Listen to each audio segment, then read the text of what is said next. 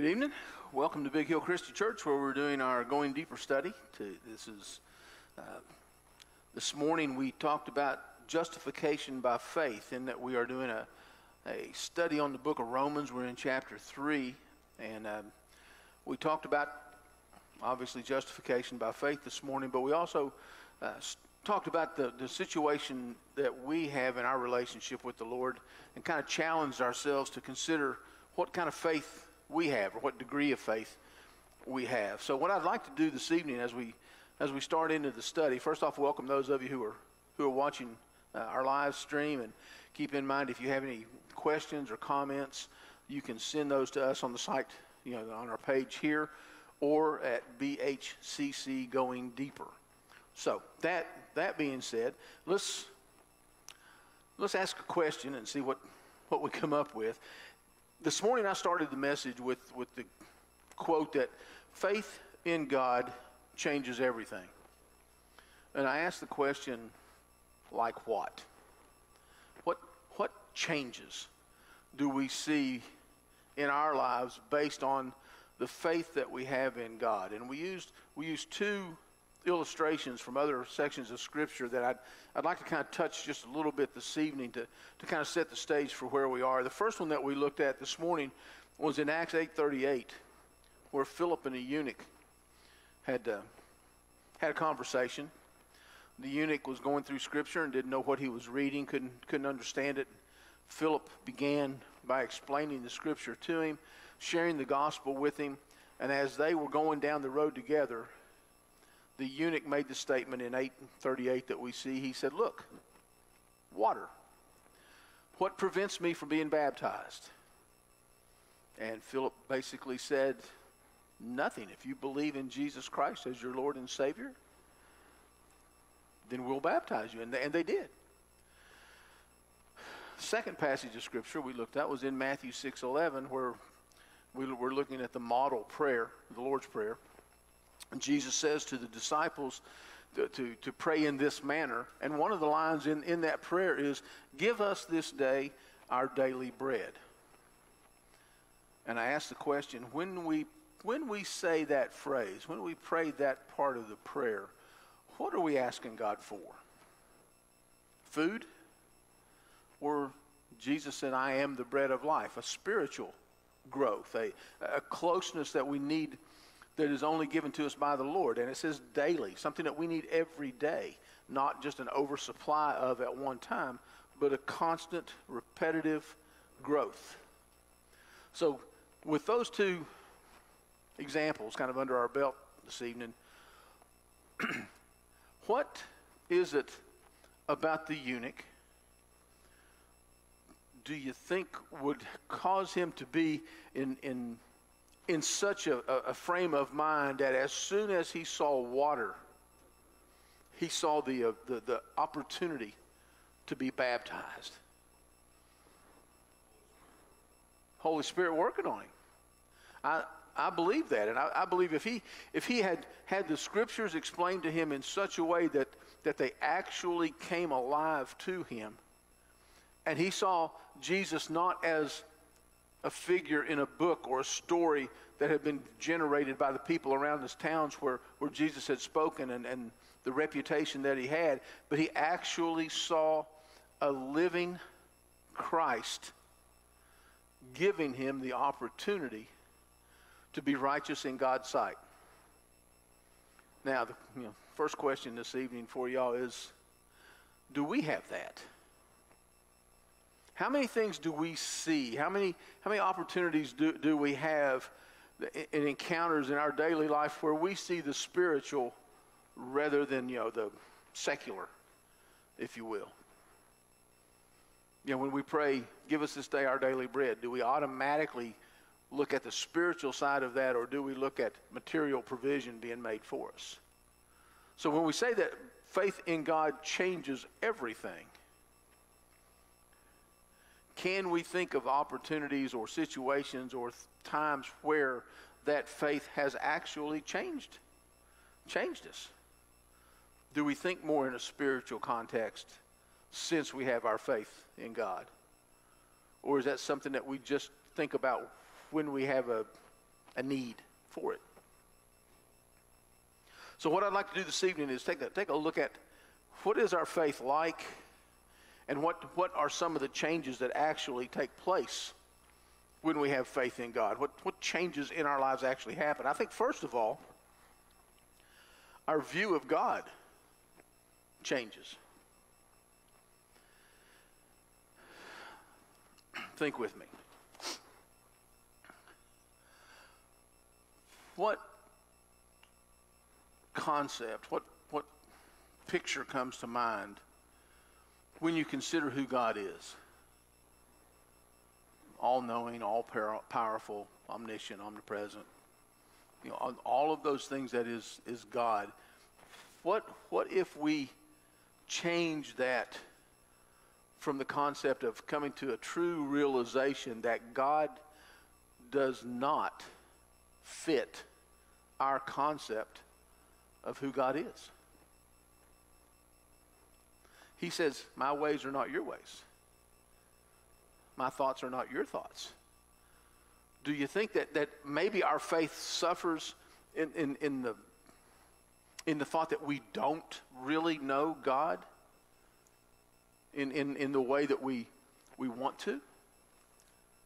I mean, when we go to God in prayer, for example, when we're in a situation we don't have answers, we don't have direction, we, we don't know what's going to happen, and we go to God and pray, what do we expect God to be like? What do we expect Him to do? How do we expect Him to respond? The way we need, the way we want, right?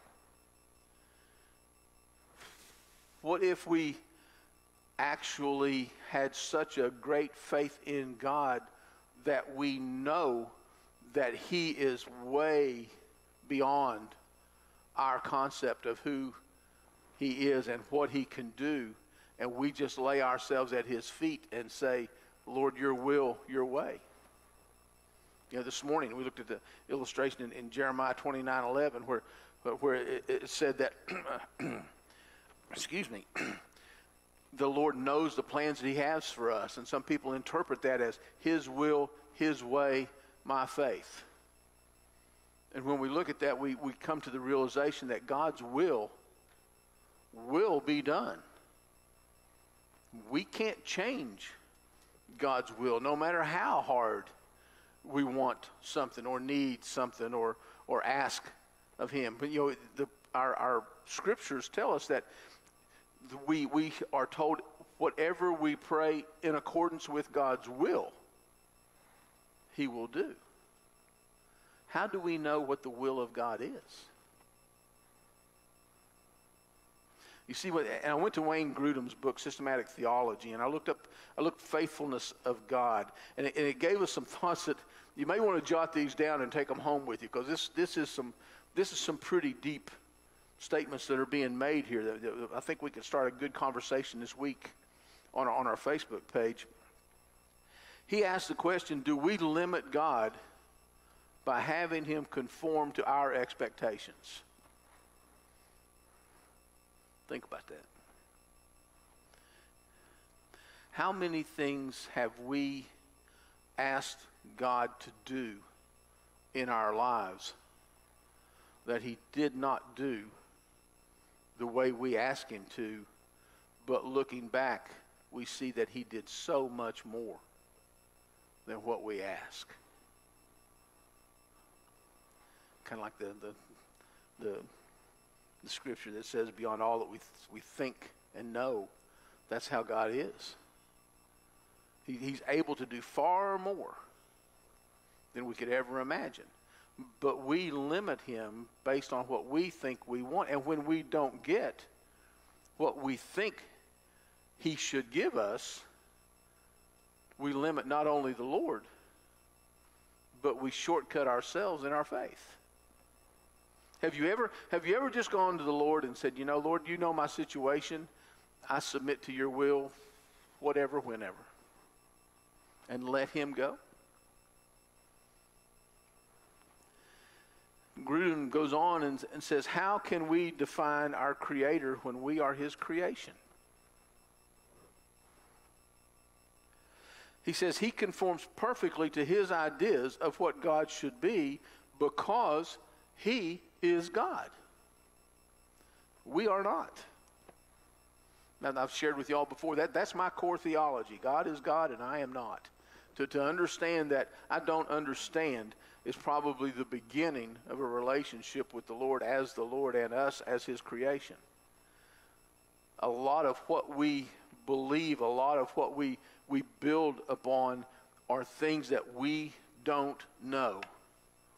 But we have faith in God who does and will. And we can rest comfortably, even, even joyfully. We can, we can even rejoice when we face tribulations, we're told, because we know that God is in control of my life. And I'm good with whatever He has in store. Is that, is that something we can say and really believe? Or do we battle with that? Grudem goes on and says he, he implants a reflection of his idea of God in our minds, which enables us to recognize him as God. And, and I think what he's saying there is God is so big and so amazing that just as with Moses and in other cases of Scripture where they could not look at the Lord directly, we see a glimpse, a glimmer of what God is like, which only brings us to our knees in recognition that, that He is God. We recognize Him as, as God more than we can think of, more, more than we can comprehend. But at the same time, He is, he is so loving with us that He knows every individual detail of every individual person ever created. Think about that. How, how real is that presence in our life? Another interesting thought his, his words his words do not conform to any pattern of truth his words are truth that everything else conforms to when we read a scripture and, and, and we say, well, why would God do that? Because he's God. Why, you know, if, if you stop and think about it, what we're studying in, in, in third chapter of Romans, if, if you know, last two weeks we've been talking about the depravity of man, how, how sinful we are from, from the get-go. Why would a perfect God put up with sinful man. I mean, just think about that. He, he created a perfect world, put us in it, fully well knowing we were going to mess it up. And yet, he continues not just to put up with us, but love us as his own even to the point that he sends his very son to die for us so that we could have eternity with him. Why would he do that? And, and I think sometimes, uh, I think sometimes we are so overwhelmed by the concept of that that it becomes hard to actually believe and put into real terms in our lives. I mean, th- think with me. Have you, have you ever just stopped and thought, God put all of this in place for us to worship Him in? Every, everything, nothing has, nothing made, nothing that has been made was made by anybody other than God for us to use in worship to Him. Yet, what have we made it? What, you know, what, what have we done with what He has given us? And how do we, how do we see Him in light of, of, of our existence? And when we use terms to describe God, we use terms that we can use, that we know, that we understand. but there's so much to God that we can't and don't understand. I wonder if, if we actually see God for who he truly is from his point of view. We can't. So when you look at scriptures, I, I think it's one of those things I, I'm amazed by the way we do it. I do it too. We read something and you say, well, that, that doesn't seem right. Or why would God do that? Or how, how, come, how come we have to do this according to Scripture? It's because He said so. We're, we're kind of like the two or three year old child that's asking mom or dad, why, why, why? And he says, because I said so. But ask yourself this question Are we really content with that answer? I don't think so sometimes. And I wonder, is that a good thing or is that a bad thing? When our kids keep asking questions and we say, because I said so, and they say, well, that's not fair. How do we, how do we feel about those questions being asked? Do you think God is any different? He may well be because he's not like us. We're created in his image, but he's God. And his words, as we said here before, his commands, they don't conform to any pattern of truth. They are the standard that we use as truth. So, all that being said gets us to the, to the next question here. Do, do we believe that he can be believed and trusted because a perfect God will always do what he says? If God is, is perfect, and he is, can he make a statement that he will not deliver? Can he make a promise that he'll break? You know, one of, the, one of those questions that you sit around tables and ask ask yourselves: Can God can God make a commandment that He can't keep? Can God create a rock that He can't move? You know, those those kind of things. Where you know, my answer has always been to those: Why would He want to? But when when we look at those things, will God do? We really believe that God will make us a promise that He will not keep. If you go to Proverbs chapter 30 and verse 5, it tells us that every word of God is tested. He is a shield to those who take refuge in him. When we're told there is now no condemnation for those who are in Christ Jesus, do we take that at face value? Do, do we believe that? And can we rest in that? If we are truly in Christ Jesus, do we see ourselves as not condemned? Righteous in God's sight? Do, do we really believe that because of the death, burial, and resurrection of Jesus Christ and my acceptance of Him as my Lord and Savior, I am righteous in God's eyes? Do we really, truly believe that? And here's where I think this kind of tests that statement faith in God changes everything. If we really believe that, are we living a life that shows that? Or are we worried and anxious or afraid or guilty or, or shamed because of all these things that shouldn't really even exist because if our faith is completely in God, we know the statement that says, if we confess our sins, He's faithful and just, and He'll forgive us our sins, and He'll cleanse us from all that. And our sins are as far away from each other, from us, as the east is from the west, never to be brought back up again. Do we really rest in that, or do those, you know, we, I think maybe three or four weeks ago, we talked about sins that continue to haunt us? Will we not let go of those? And by not letting go of those, are we exhibiting less than a great faith in God? So, if we if we really have a saving faith in God through Jesus Christ,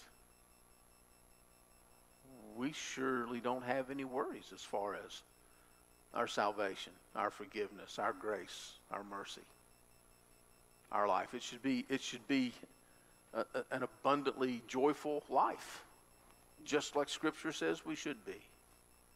So if, if our faith is really where it should be, are we really living the life that it, you know, it, it, it describes for us? Have you heard? Have you ever heard the term saving faith? I've used it a couple times last this morning and this evening. A saving faith is defined as a trust in Jesus as a living person for forgiveness of sins and for eternal life with God.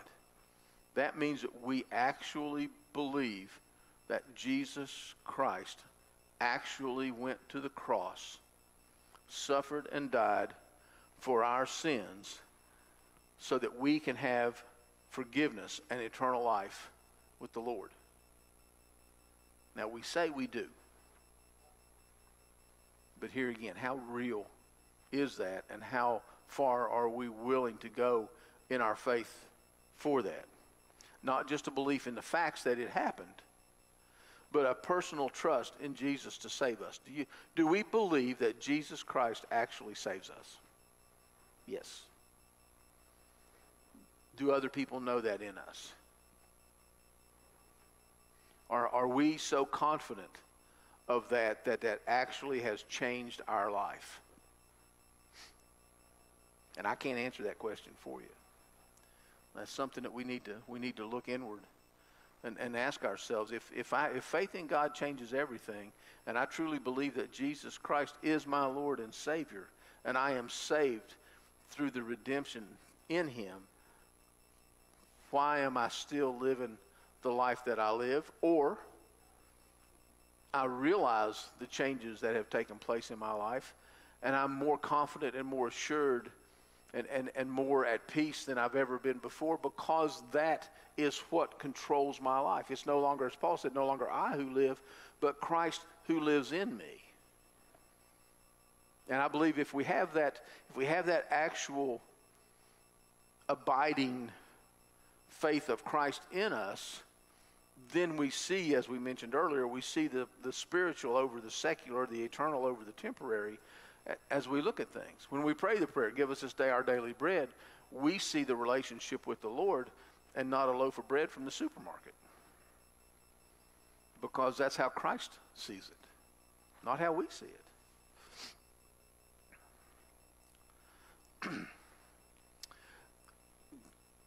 do, do something for me just for a second on, on, your, on your papers, if you have any papers there with you, you're jotting things down, write a real short, your word, definition of what salvation is. What is salvation? I'll give you a couple seconds here.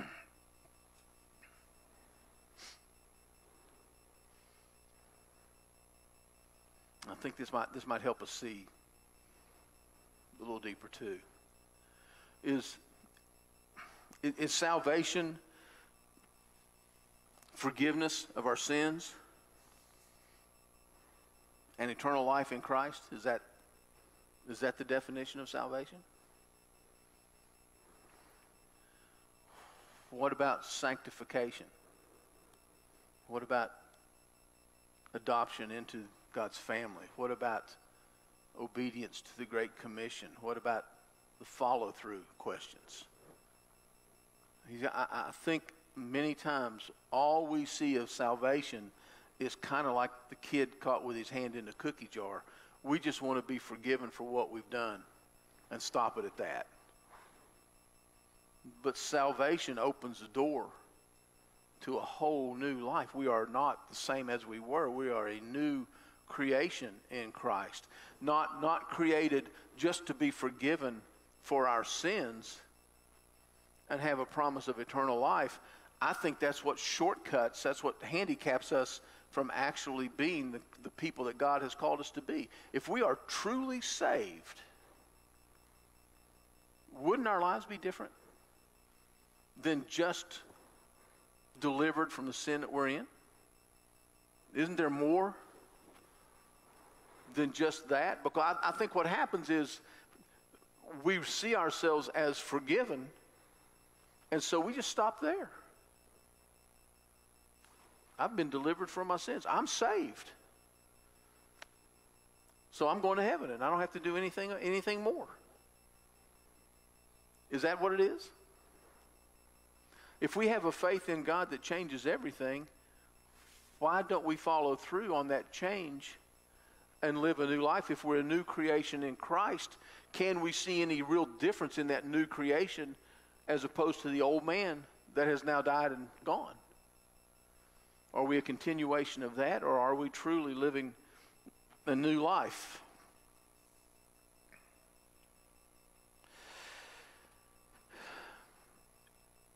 In, in, in this passage, you know, where we are in, in, in Romans, in, in the third chapter, if you will, look with me at verses. Let's look at 21 down through 26. We read this this morning. I, want to take a look at this again. Justification by faith. It says, But now, apart from the law, the righteousness of God has been manifested, being witnessed by the law and the prophets, even the righteousness of God through faith in Jesus Christ for all those who believe.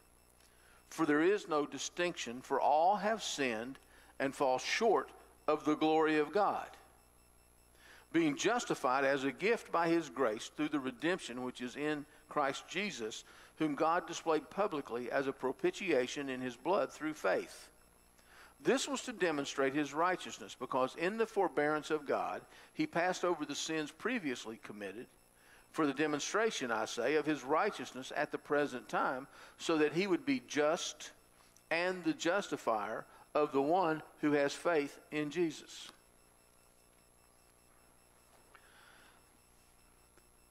If we go back to 23, for all have sinned and fall short of the glory of God, we have a tendency to stop right there. When you quote the scripture, that's where we stop typically.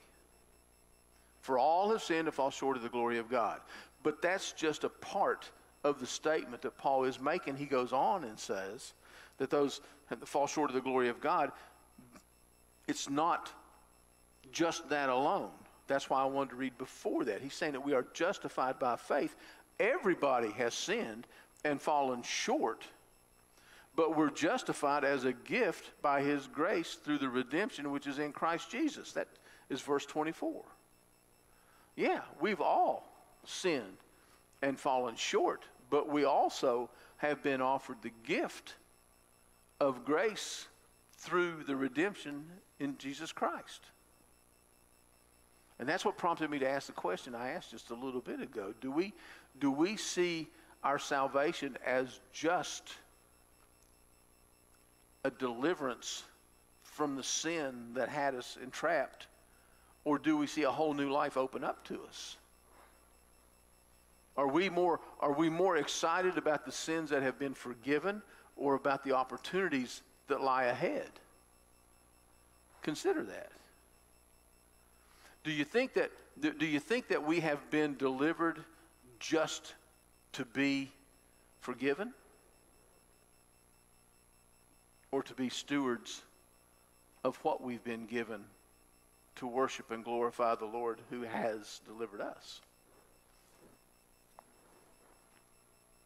You see, I think, I think in a lot of cases we're content to just rest in the forgiveness that we have. But we're called to so much more. We look at the fact that there is now no condemnation for those who are in Christ Jesus, and we, we, we appreciate that and we celebrate that, but we don't read the part that goes on and says, Go into all the world and make disciples, baptizing them, making disciples of them, knowing that the Lord is with us through the whole journey. What do you think, what do you think it would look like if the church put as much emphasis on the Great Commission as it does in forgiveness and mercy? What do you think we'd be like? I mean, think about that. So, what are we willing to do because we know we have a saving faith? And what has that done to actually, actually change our lives? Go with me, if you will, to Galatians chapter 2. And I want to read verse 16.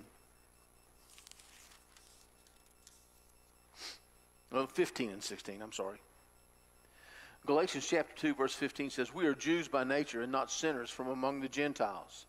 Nevertheless, knowing that a man is not justified by the works of the law, but through faith in Christ Jesus, even we have believed in Christ Jesus so that we may be justified by faith in Christ and not by the works of the law, since by the works of the law no flesh will be justified.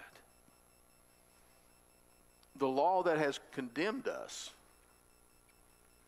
hasn't necessarily been abolished, but it's been completed through our faith in Jesus Christ. We recognize that law, but do we recognize that that law still condemns other people? We're, we're free of it. But do we see the need to be an agent of change in that liberation of other people when they, when they, when we show them the gospel and share with them the gospel and lead them to the Lord who begins to work on their heart through the Holy Spirit's conviction? Are we content with what we have or do we want to share it? And if we have a, a true faith in God and everything has changed, we should see that need to share the gospel with other people. That's what Paul, that's one of the main reasons Paul wrote this letter to the Romans. He wants them to rise up as a church and rally around the gospel and be prepared to take that gospel into the community around them. And when I when I when I make the statement that that letter to Rome is also the letter to Richmond, do we see the Lord calling us as a church to rise up and share the gospel with the community around us, or do we just see we're a church of good people that are kind of resting on our blessings? What do you think?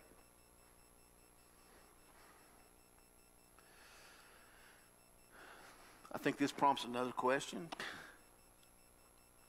Why do you think God chose faith to bring about justification? Why not love or joy or peace or humility? Why, why are we not saved by love or saved by peace or saved by humility? Why, why is it faith? What do you think? I think it's because faith is that one descriptor that lets us see that it's not in us. We can't be saved by faith in ourself. We, we can't be saved by anything other than a reliance on Jesus Christ. And I think sometimes that's what makes it so difficult because we, we see only what we can do. But if you look at, uh, if you look at this faith as being the thing that, that justifies us, you ask the questions how much faith do we have in ourselves to bring about our righteousness in God's sight? Can we do that? No. We have to depend on something else, somebody else to do that for us. We have to depend on Christ to do that for us. Can, can, can we have faith enough in ourselves to bring about an unswerving dedication to service to the Lord? No, we fall short. We see in Romans where we've been reading that, that no one can do that. Again, we have to go to Christ for that. Can we be completely obedient to His Word? We can try, but did anybody ever do it? We all sin and fall short. Remember, are there times where we have really good intentions and we want to do what God has called us to do, but we just don't? If we don't have faith in the Lord, if He had not redeemed our sins, we're just adding to our sins and having the law continue to condemn us. So our faith in Christ has to say that I give up we turn our lives over to the Lord. We depend on Him to save us from ourselves and bring us into that righteous standing before God.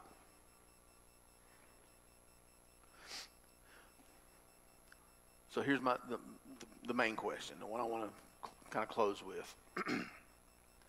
Where does faith come from? What do you think?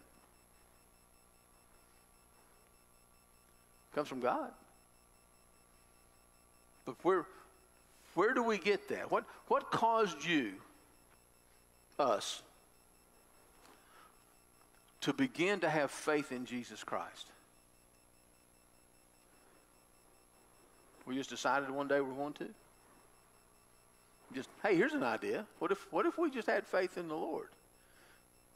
If, if you will, go with me to, to uh, Thessalonians.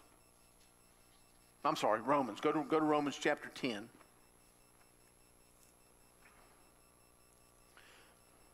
And in Romans chapter 10, verse 17, it says, So faith comes from hearing, and hearing by the word of God. Our faith comes from hearing the word of God spoken to us, the gospel message, if you will. That faith comes from hearing God.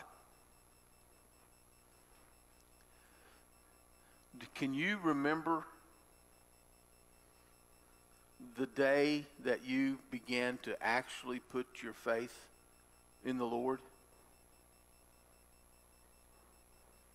You know, was it from a, a friend that told you about the Lord? And when you began to look at the gift that was being offered to us, and we looked at our lives all around us, and kind of like what we did this morning with the compass illustration, we began to see the direction that we were headed is not the direction that we needed to be taking.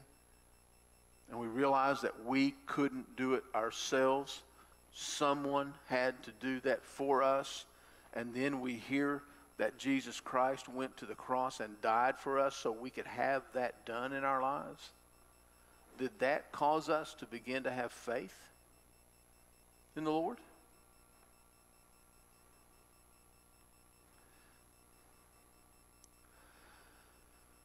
What about the situations where we, we have faith in God because we don't have any, we don't have anywhere else to go?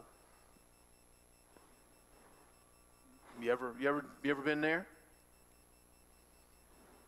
You ever prayed that prayer? God, I don't know what to do. I'm just going to you're just going to have to bail me out of this. Is that faith in God? Yeah. Because we realize we can't. With man, this is impossible, but with God, all things are possible. We, we heard that somewhere. We know that that's true. So we finally come to the end of ourselves and we say, Lord, I can't do this. I need you to. And when we go back to what we read in Romans earlier this morning, where it said, God remains faithful even though we are liars at heart.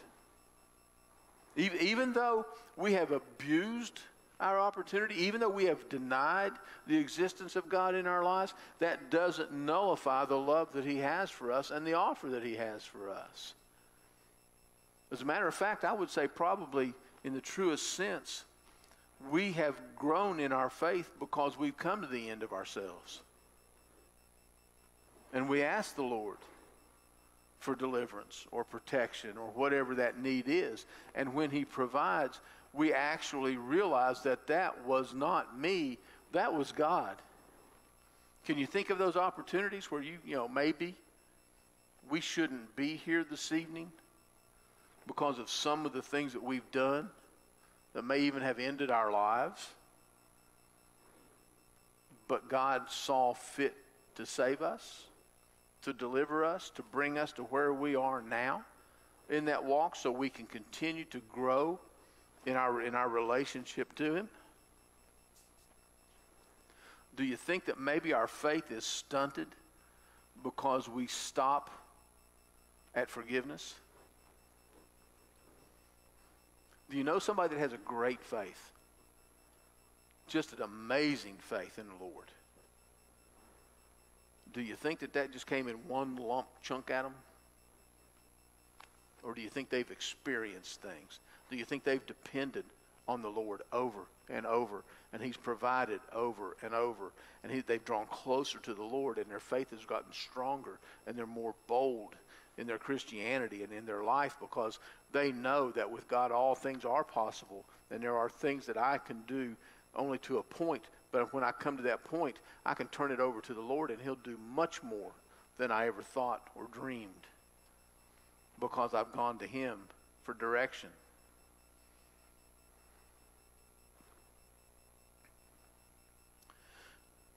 Are we trusting in God? Or are we lazy? Ask it that way. And here's what I mean by that.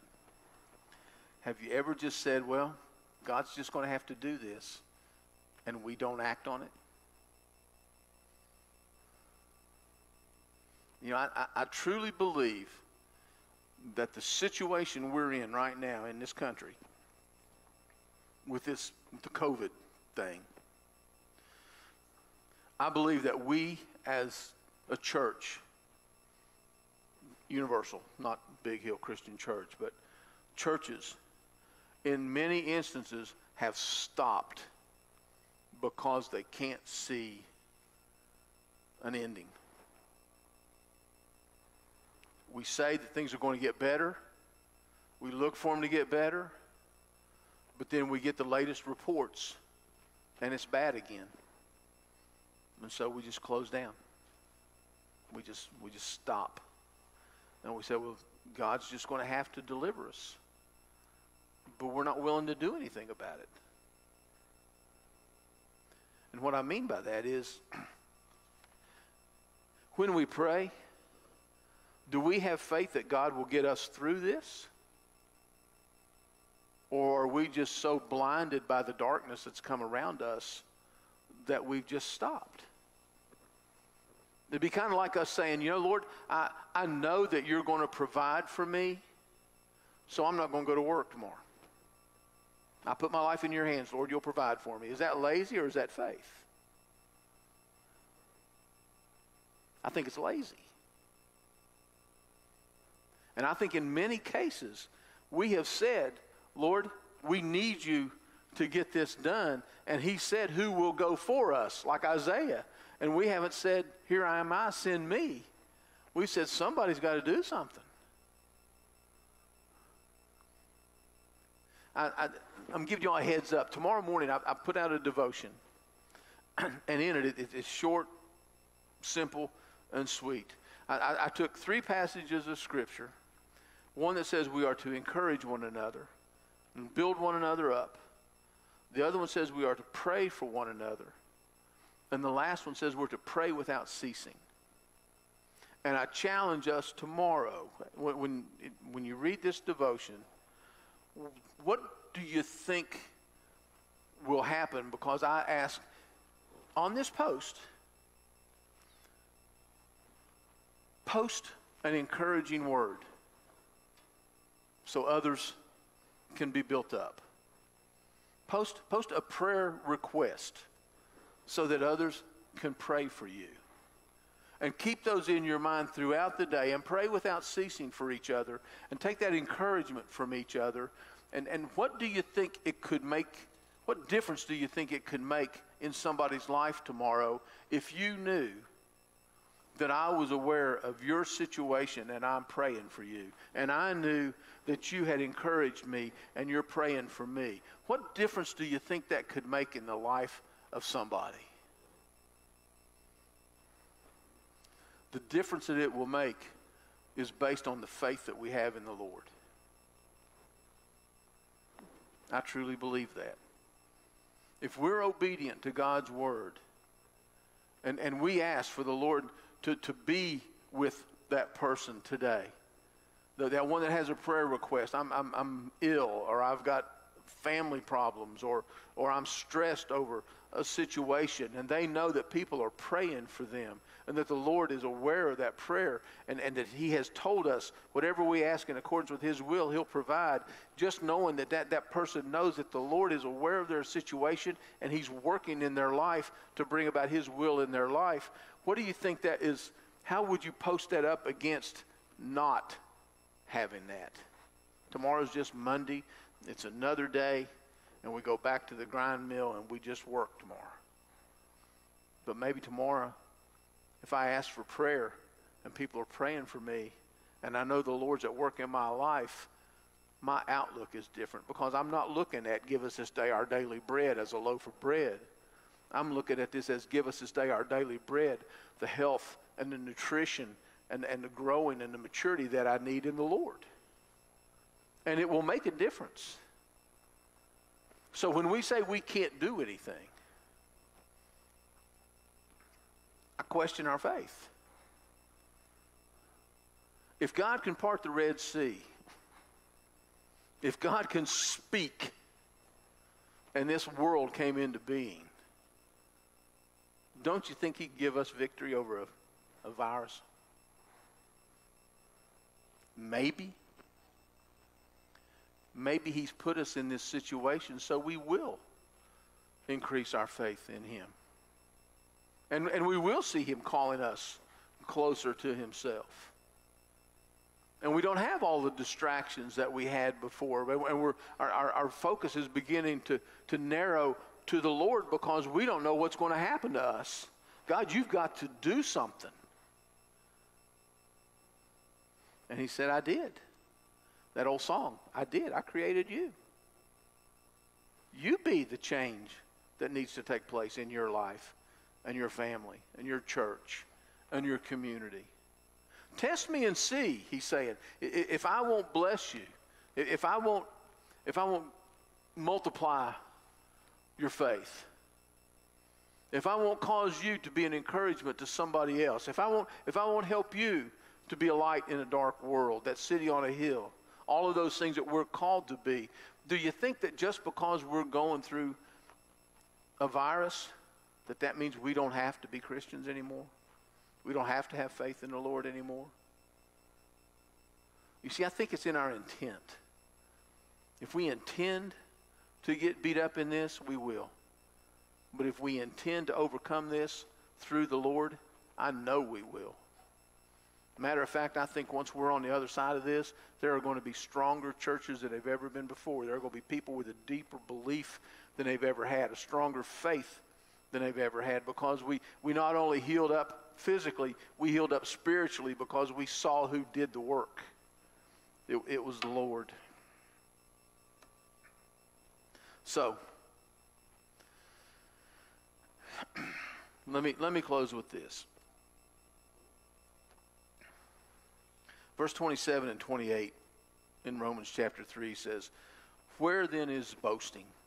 It's excluded. By what kind of law? Of works? No, but by a law of faith. For we maintain that a man is justified by faith apart from works of the law. Take this home with you.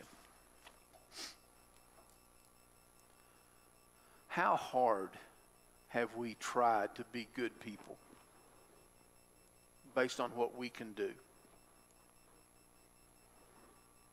There are times we're really good.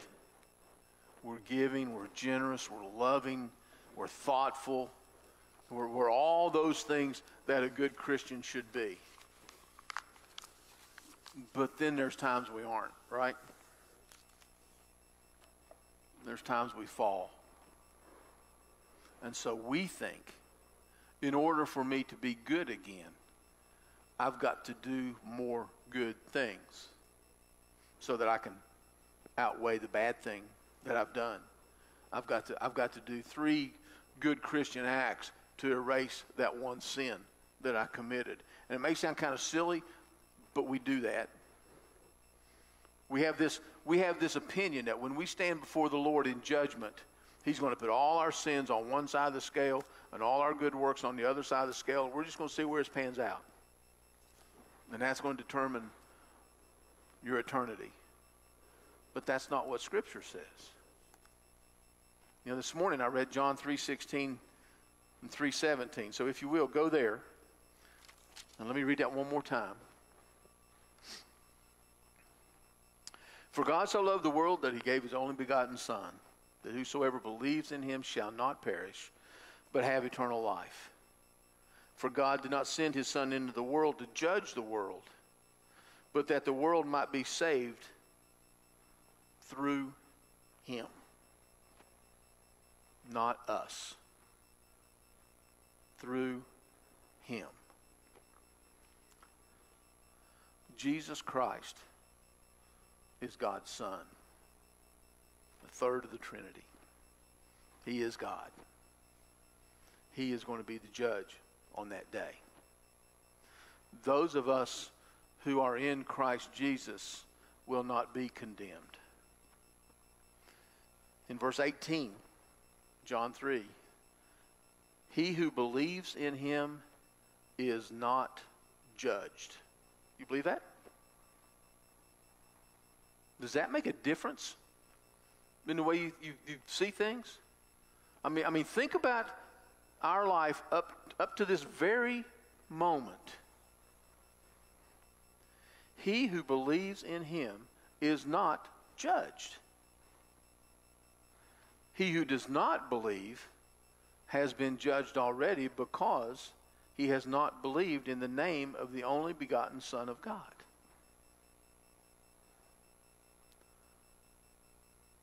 So I'm challenging you this evening.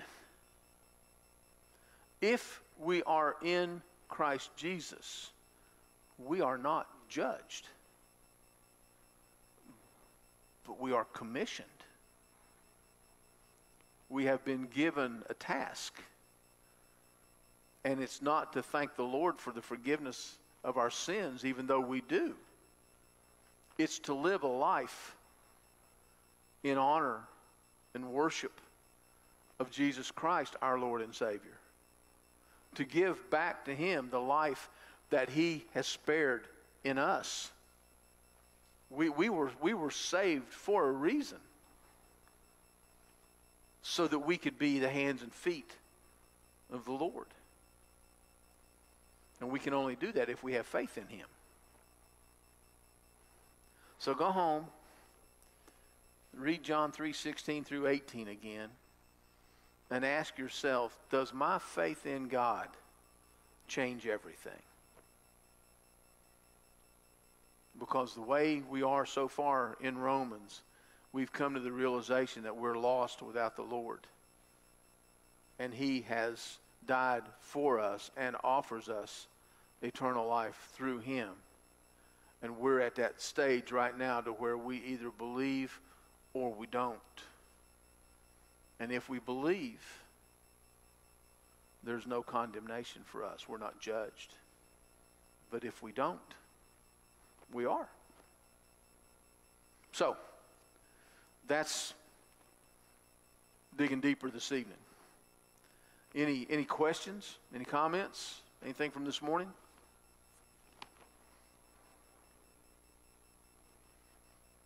Okay. Have any prayer requests or anything from? I can't see that far. A few prayer requests, if you will. Uh, Art's older sisters, both are going through some difficult times right now. Pray that God will provide uh, them comfort and guidance. Also, keep his dad in your prayers. His, his younger brother was, was laid to rest yesterday. Dave Bowling, uh, Shannon McHugh, they're both having, or uh, Shannon McHugh, Dave Bowling's daughter, is having knee surgery on Wednesday. Keep Dave in your prayers too. He gave me a call yesterday. He has bronchitis. Uh, Kathy Hughes, continuing to pray that the blood clots will dissolve.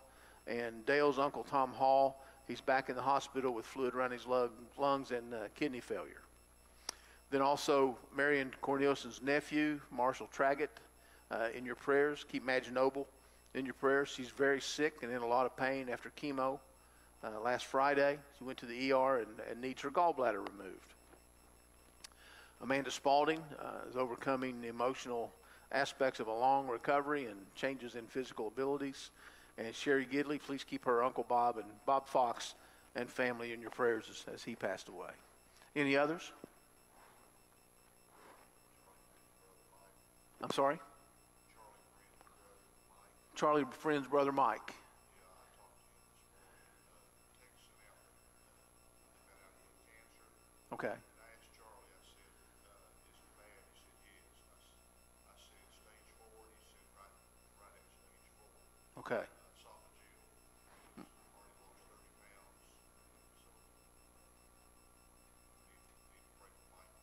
Okay. Mike Friend, that's Charlie's uh, brother, has esophageal cancer. Looks like stage four. Uh, lost a lot of weight and going through going through a difficult time. So keep keep him in your prayers as well. Okay. Oh, Berna George? Oh, no. Okay. Good to see her here this morning and this evening. Yeah. Yeah, she's my hero. I had one knee. She's had both. Man, that's that's that's crazy. okay, let's uh, let's close in word of prayer and then we'll we'll be dismissed. Pray with me. Father, we thank you for, for the for the Lord that you are. Father, we, we thank you for the opportunity we've had to come here together this evening. And Father, I pray that as we, we've looked at these scriptures and we've looked at some, some hard questions, that we, that we begin to, to look to our lives and to, to accept the offer that you've given us, to find joy in, in the relationship that, that we have with you, and to realize, Lord, that, that many times we short ourselves of, of blessings and opportunities because we only limit our ability based on what we can do. But you've told us that plainly in Scripture that, that all things are possible. So, Lord, help us to, to realize who you are as God, and you don't fit in a box that we've created, but our potential and, and your love for us is unlimited. And Lord, help us to, to realize that there's a world around us that is searching for answers. And we have what they need in the gospel message of Jesus Christ. So, Father, give us a bold spirit. Help us, Father, to open our eyes and to see the opportunities that are all around us and to realize that, that all the problems that we face and all the obstacles that are in our way is just the world being the world. And you've plainly told us to take heart. You've overcome the world. Help us, Father, to see the spiritual and not the, not the secular, to, to see the eternal and not the temporary. And help us to live that life of victory through Jesus Christ, our Lord and Savior. It's in His name I pray. Amen. Thank you all for being with us this evening. Hope to see you Wednesday night as we do our, uh, our Bible study here as well. Thank you.